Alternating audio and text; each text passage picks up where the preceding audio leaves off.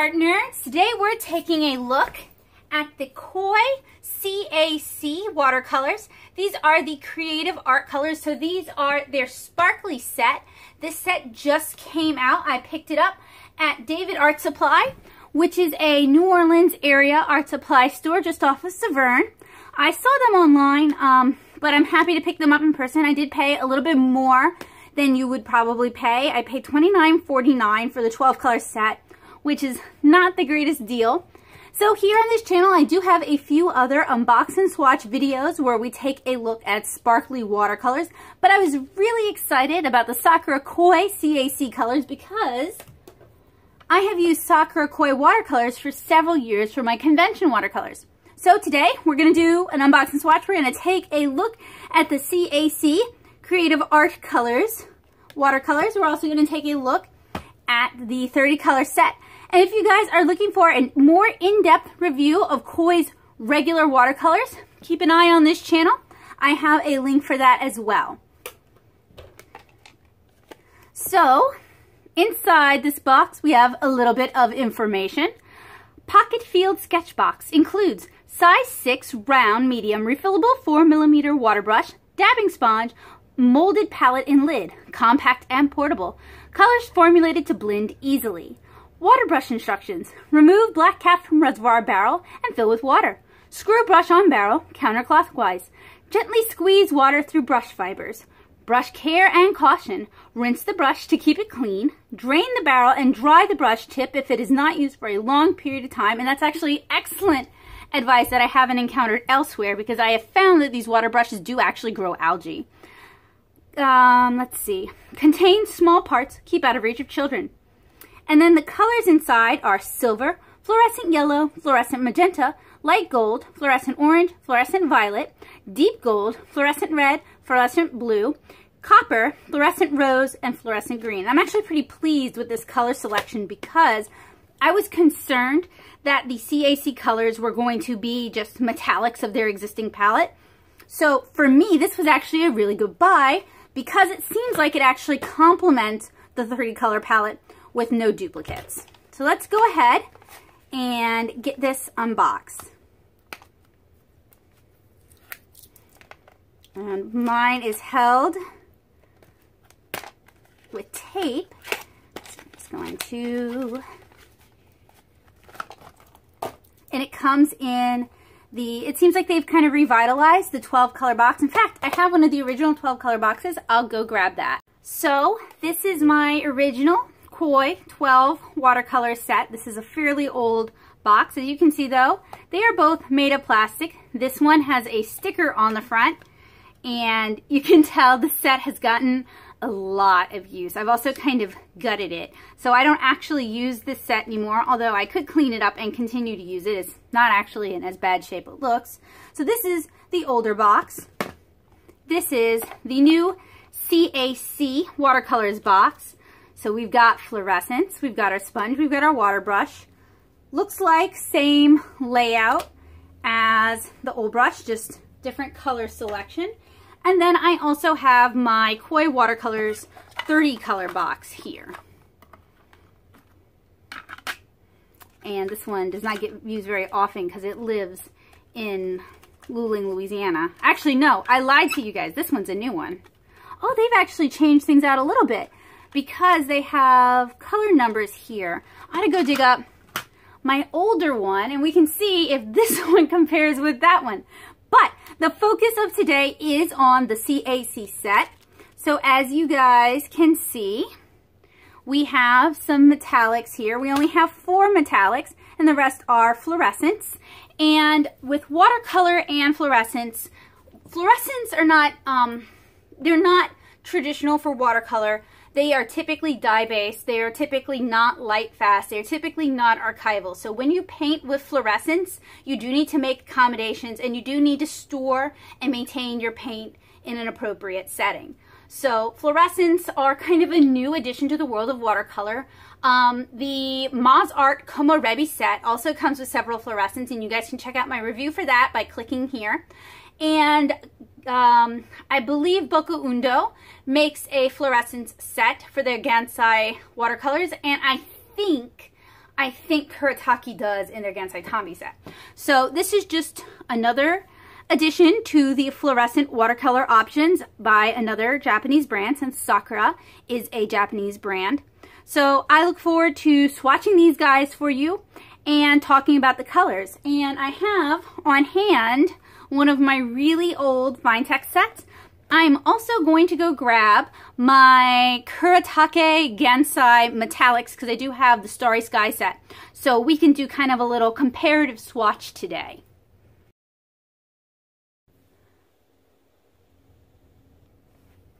All right, so now I've got a little bit of everything. We have the Gansai Tambi Starry colors. We have the old Finetec, some of their pearlescent colors. We have the CAC watercolors. So as you guys can see, this is the smaller of the Sakura of America water brushes. It contains a black cap. What you do when you're traveling is you keep them separated.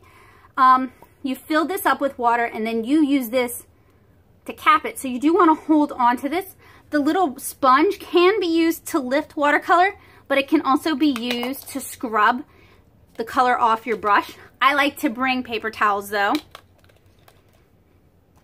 In the larger set, you get the sponge kind of embedded into the set and it functions the same way. You fill the reservoir, you cap it off for travel because it's not big enough to travel all in one piece. I also found my older, although not nearly used, set of 25 Sakura Koi watercolor. You guys can see it is almost identical to the 30 set.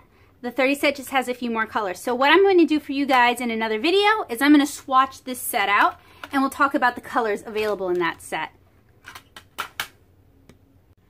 So we're going to begin with swatching these colors. I'm actually not going to, well I could use the water brush. I do also have a cup of water and some regular watercolor brushes handy. So I went ahead and I put some water in the water brush. Actually, I should put some more water in the water brush.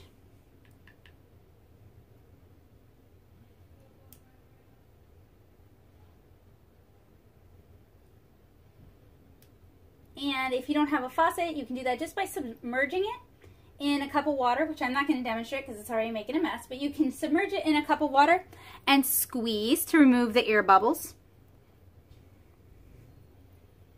So I have my water brush filled just in case, and I'm going to be swatching today on Canson Biggie XL watercolor paper. I'm going to move this gross thing out of the way.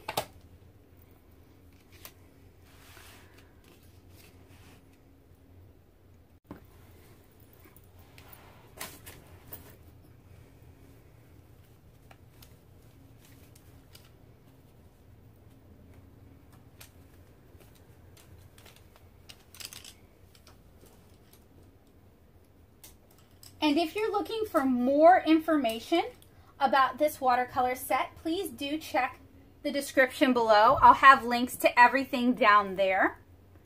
And I am going to go grab a permanent marker so that we have something to do the opacity test with. So I have here a Sakura Pigma Micron. Not as thick as I would normally like for my opacity test. But that's okay because it doesn't have to be pretty. I am going to put several lines on this paper so we can get an idea of how opaque these colors go down. All right, so now I'm going to use a synthetic brush and I'm just going to put a little bit of water on each of our colors. We're to pre-activate these. And something I'm to be interested in seeing with these fluorescents is since I told you guys earlier, fluorescents are typically not pigment-based. There aren't too many pigmented colors that'll fluoresce. Um, it's to be interesting to see whether these are dye-based or pigment-based and whether or not they have a problem with reactivation once they've been initially wet. So, let's see.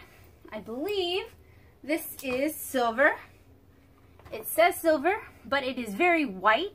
It looks very much like a pearl.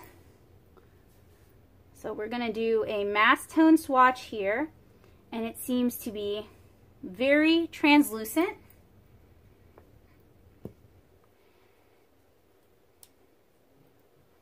And now I'm going to do a gradiated wash. So we're going to start at full intensity, which I know is very hard to see, and I apologize for that. And we're going to wash it down. I'm going to do that with all of the metallics in this set, and then I'm going to go get a fresh cup of water. So this is their gold. This is light gold. and that is also very, very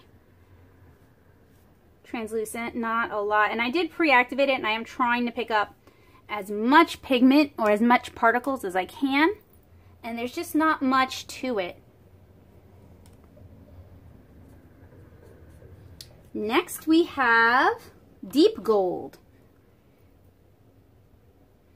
Little more color there, but still not much opacity, not much oomph.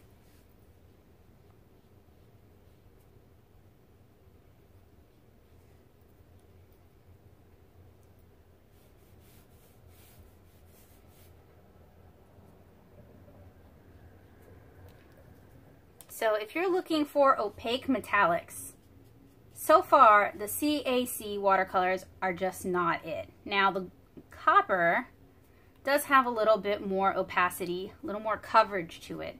The other ones were really, really kind of unimpressive and weak. This one has some actual strength to it.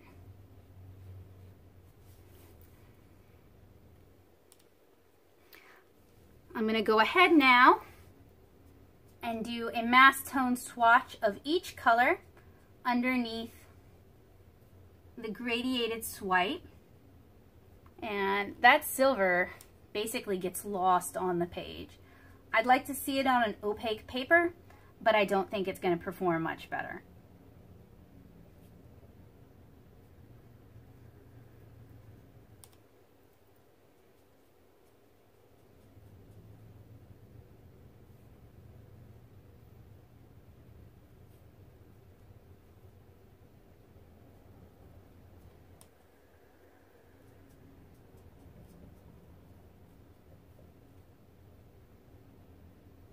All right, so those are our four metallic colors. Gonna go clean my cup out. I'll be right back. Also going to grab a different brush just because glitter has a tendency of getting into everything in the world.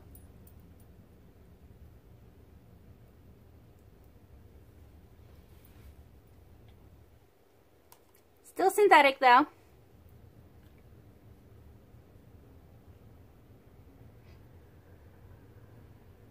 But it does seem like Sakura has done a little bit of repackaging. Perhaps they've made their koi pan-based watercolors available open stock because every color in this and in my new 30 set has a color number, whereas prior sets did not. So if you ran out of a certain color, you just had to replace the whole set, or you could fill it up with a tube watercolor.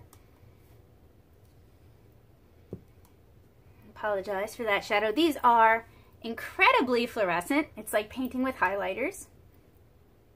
So if you are looking for very fluorescent watercolors, the CAC may have you covered.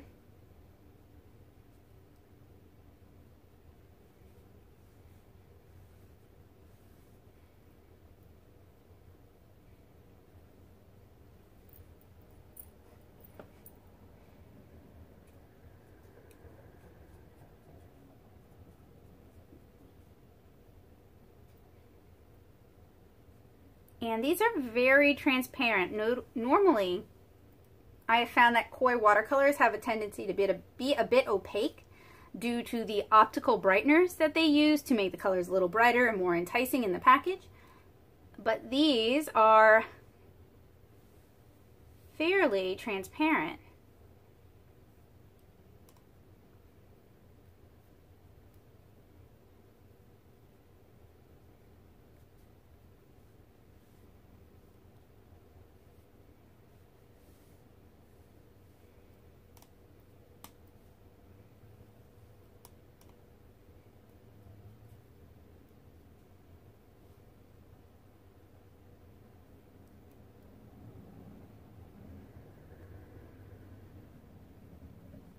They also don't seem to separate out into individual dyes, but they're already clouding up my water. So I do suspect there is the use of optical brighteners, which would make sense given how transparent these colors are.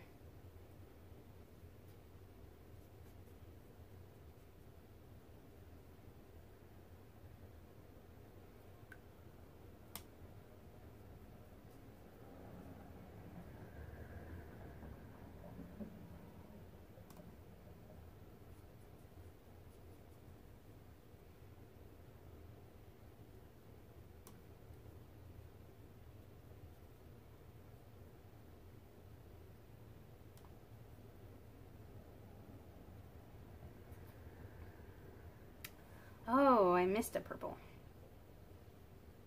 Just watch it right there for you guys. Sorry about that.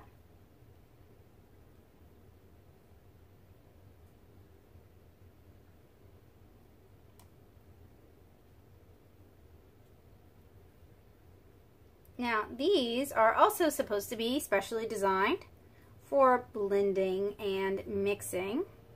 So, once our opacity test has had a chance to dry, I'm going to go ahead and do a little bit of color mixing, color play.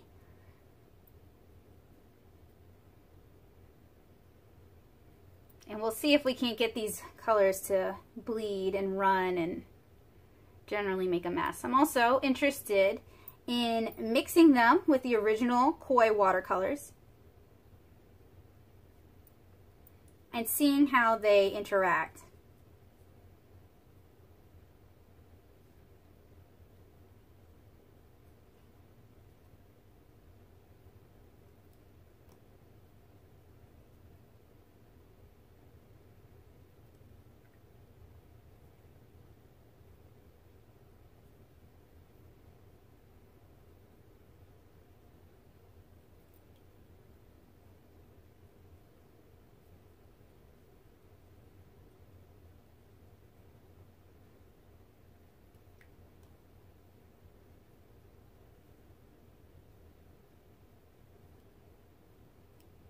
Now, I'm really doing a lot of scrubbing and a lot of pushing because I'm trying to pick up as much pigment as I can. And they're still fairly, fairly weak. So I'm going to let these dry and then I'll check in with you guys with the next portion of our test.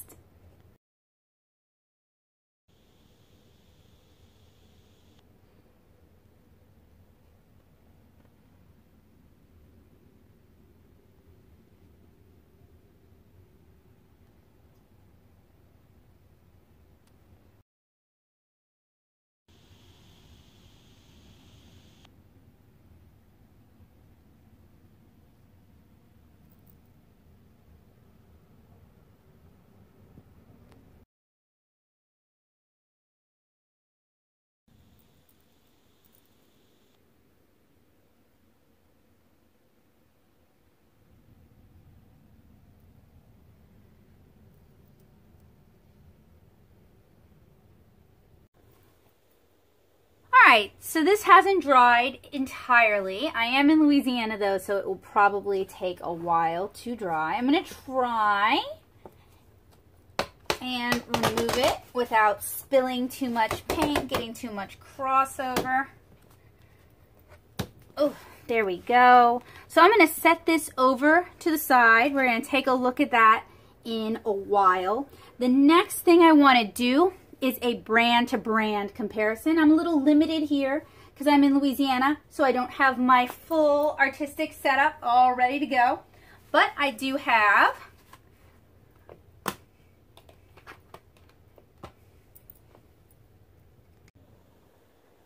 And I thought I had some of my Finetec gold pans, but I don't. So this may have to be a review that we come back to another time and redo when I have the Como Rebi set as well.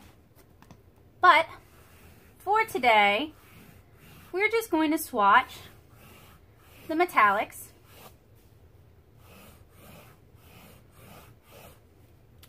So I made three lines, one for each brand. We're going to do the CAC colors at the top, the Finetec, and these are the older Finetecs. I do have a few other Finetec sets, and if you guys are interested, I can review those as well, more in depth. And then the Gansai Tambi Starry colors. And most metallic paints utilize um, mica in order to give them that metallic finish. Although Daniel Smith's PrimaTek colors do actually use um, the pigments from the semi-precious stones themselves. So say amethyst, for example, has a beautiful, lovely glitz to it, and that's from the amethyst. So we're to start with the CAC, and we're starting with their silver.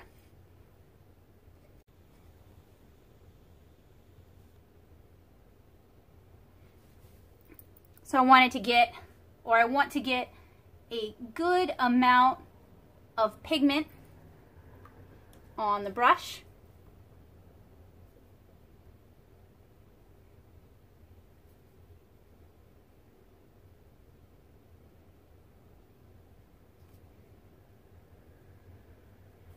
Really want to try and give these as much of a chance as possible. Now something you guys might find interesting is that the use of gold and silver beginning with gold and silver leaf in fine art, begins with the Japanese, um, and using sort of gold leaf in traditional Japanese sumi-e paintings isn't an uncommon thing, and it can make for some really beautiful pieces. So these sort of gold and silver watercolors are not unusual, and Renaissance masters would also use gold and silver in their paintings. So some of the really beautiful paintings of the Madonna and Child, for example, do utilize gold that has been suspended in a solution. And you can even buy gold and silver paint, um, particularly the gold paints from Jerry's Artorama. And it's just gold powder in gum arabic.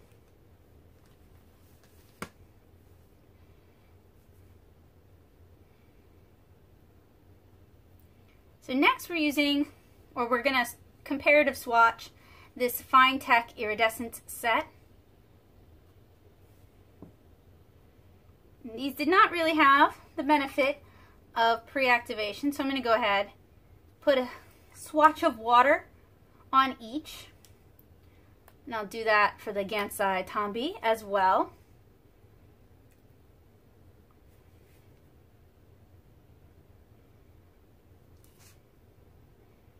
And I'm really trying to pick up as much powder, as much pigment as I possibly can.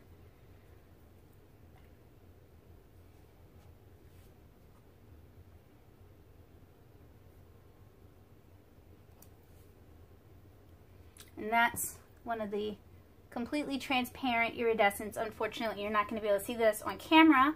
You would, however, see it in the commissions that I choose to include metallic accents in. And really that's any commission or mini watercolor I think would benefit from it.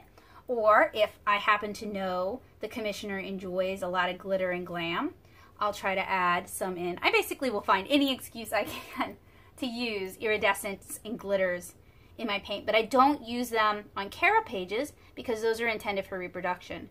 And these sort of metallic paints while they're beautiful in person and you can get some really nice striking effects with them, they don't work well for reproduction work. All right, so that was the Finetec set. Now we're going to do the Gansai Tambi Starry Colors. And this is a six color set. I was messing with it the other day.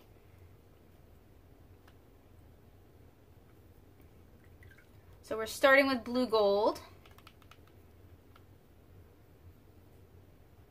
red gold,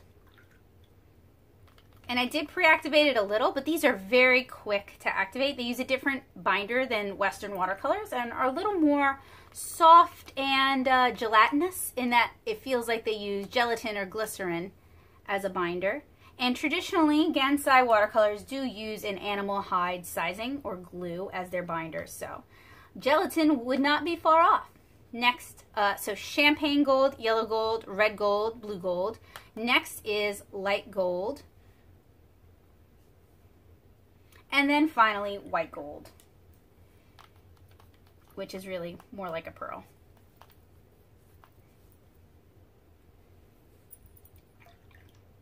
And I'm going to give these swatches a chance to dry as well.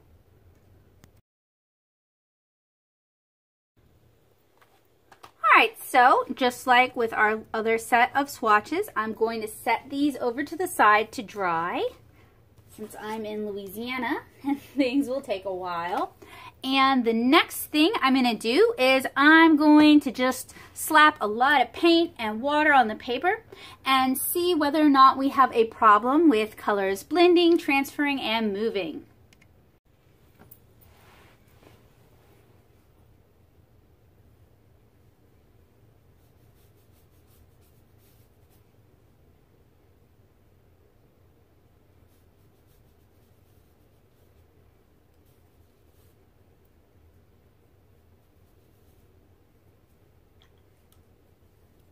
Oh, I'm going to start by kind of doing some wet into wet stuff with the metallics.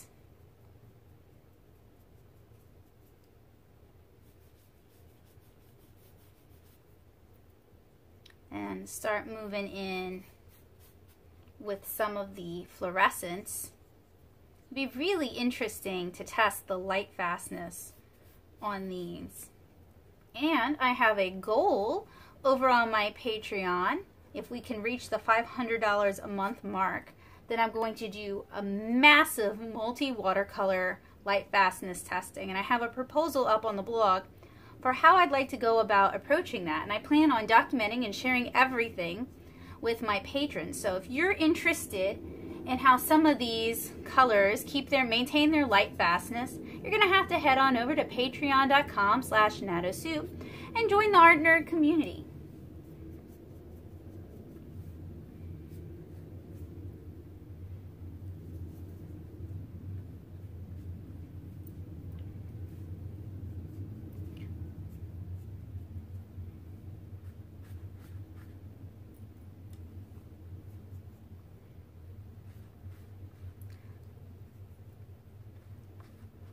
So right now the colors are very pretty. I am getting some buckling issues, but that is not the fault of the paints. It's the fault of the painter.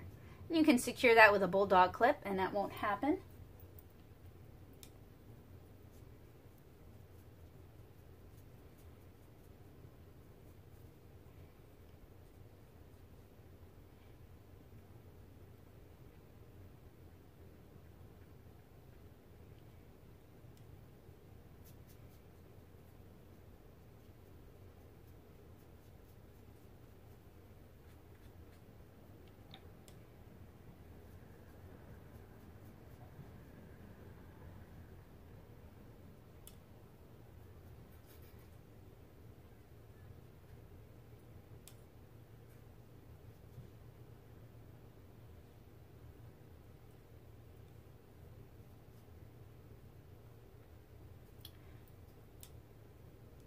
Some interesting granulation going on with these fluorescents. That's something I really enjoy about fluorescent colors is that they have tend to have really neat granulating effects as the intense bright color settles into the texture of the paper.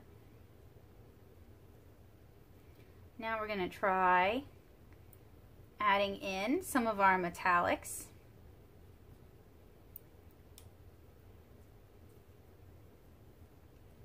I was tipped off about this set by my friends Bomber Bee and Kabocha. So I want to thank you guys for, you know, sharing this with me, showing me the new thing that Sakura Koi has introduced. For more information about this product, you can check the description below. I'll include competitive pricing and links to where you can get your own. I wouldn't recommend paying $30 for this set, even if that's the market price, which I'm not saying it is, but even if it is the market price, I wouldn't recommend paying 30 for this set because there are other sets like the Como Rebi set, which includes 40 colors and has metallics and it has fluorescence and that's like $26 over on Amazon so and I think it performs a little bit better than this set here so I'm gonna let this hot mesh dry and we're going to check in on it and do another layer on top of it.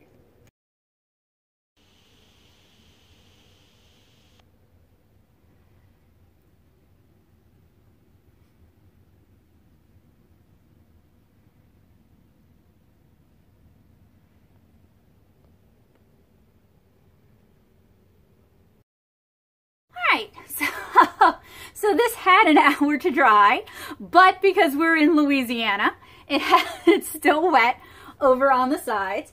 So it had time to dry. That's just the nature of the South, y'all. So I'm going to go ahead and do another layer. And I'm testing for a few different things. I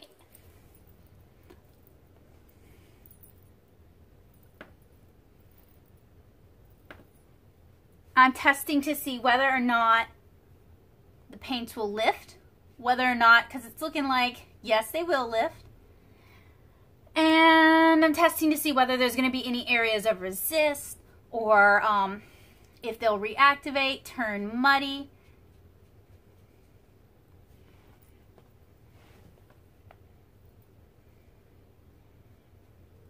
I have a feeling that this entire set is really designed to be used kind of towards the end or maybe used sparingly.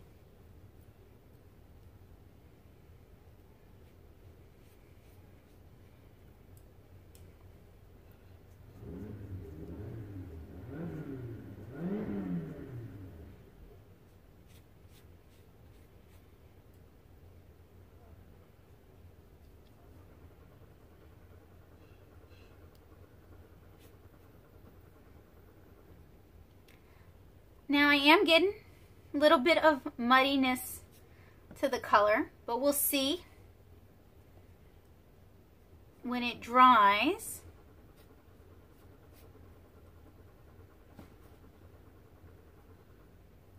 I'll move this sponge because I'm not really going to use that anyway.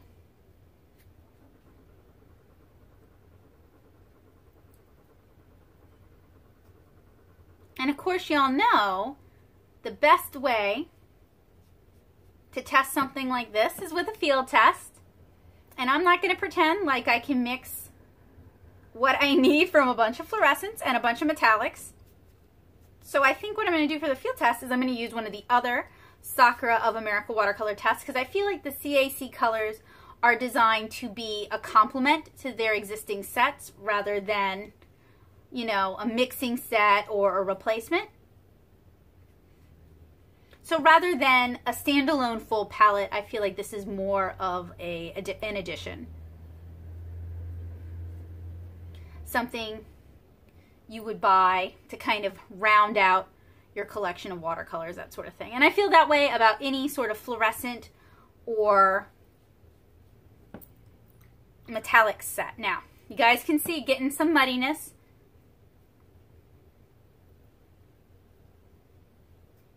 Getting some resist over here.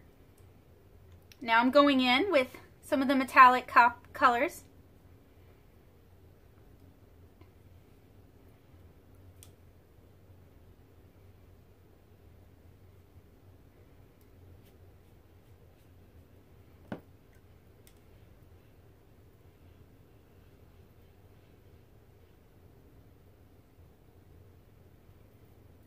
And we're not really getting any coverage at all with these metallic co colors.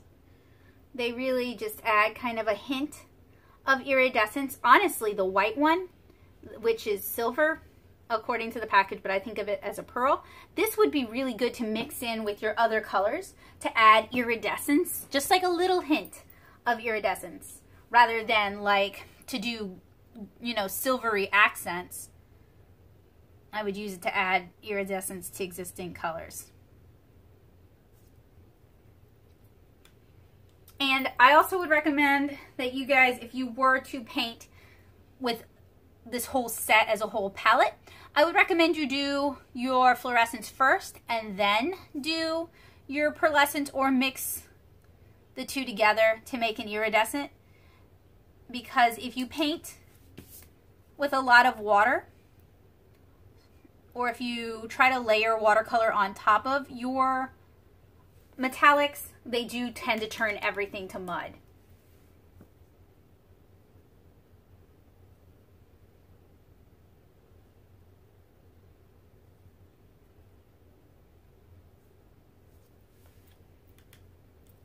All right, so I'm gonna let this mess dry.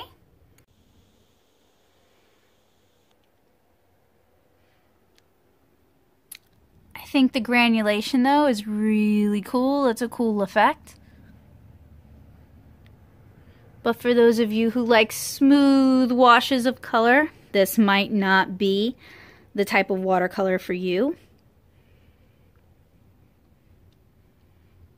And I do like how fluorescent some of these colors are. Very bright, very bold, vivid color. All right, so I'm going to let this dry. And while that dries, I wanted to talk to you guys about the swatches from earlier. They have finally had a chance to dry.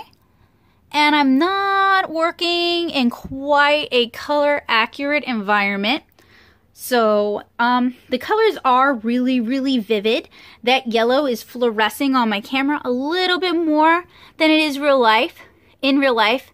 And the hot pink and the hot red are not quite as fluorescent as they are in real life. They're actually a little brighter in real life. Then over here, we have our metallic swatching.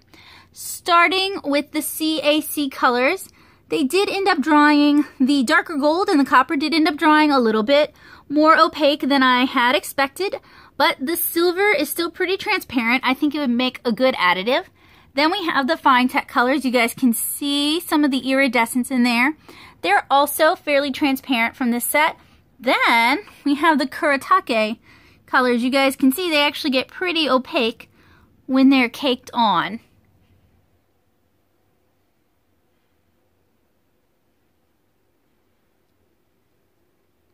But all of them are shiny and glittery. All right, arty friends, so these have fully, fully dried, and I'll have to show you these in better, more realistic lighting. But this is what we're interested in right now. And it's still wet. I've been gone for about an hour, but it's still wet because that is how Louisiana rolls.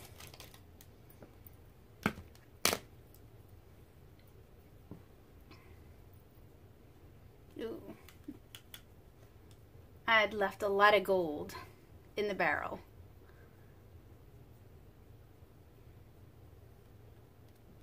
Ooh, wow. Some areas really are still wet.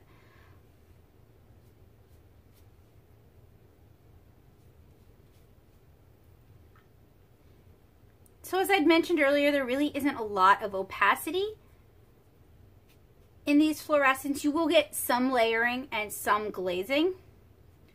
I would recommend, ooh, see, check out how much it actually picked up. Let's see how that goes down. I would recommend working with any of these colors towards the end of your painting session. So I would try to build up to these colors rather than use them the entire time.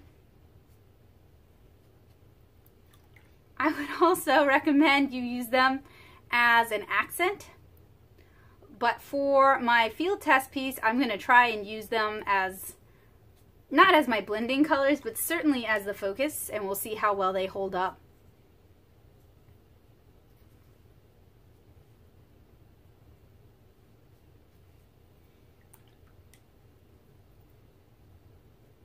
Some of the colors do seem to layer a little muddy, and I am getting some resist in the areas where we put down the metallics.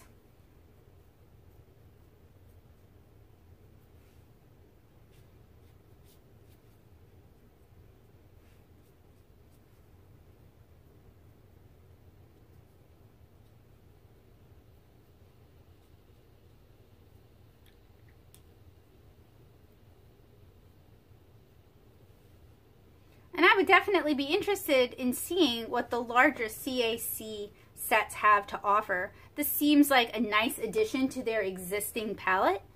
So I'm kind of curious. I guess it would include more metallics, like more colors with a metallic added to them, which, I mean, I'm not particularly interested in that myself because we can kind of mix a lot of our metallics from these included here. In fact, in my opinion, we don't even really need the light gold. It just seems to be uh, a less pigmented version of the darker gold.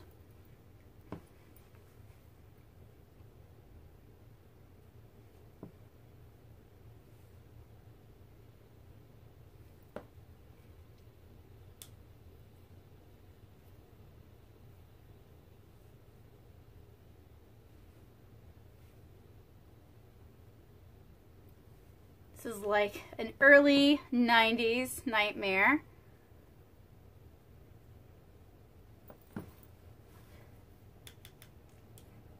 So I'm going to let this dry and uh, then we'll work on saying our goodbyes.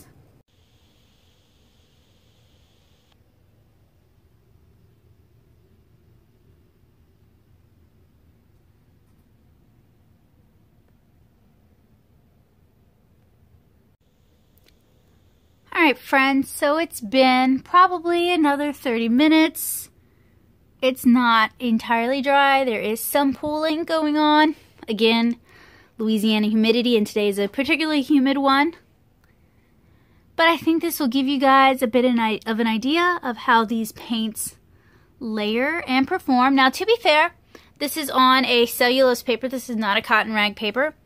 I find that cotton rag papers do tend to hold on to the pigments a little bit better than cellulose papers. So that's the purple and the green together turns to mud. But um, I look forward to seeing you guys again when I do the field test for these watercolors.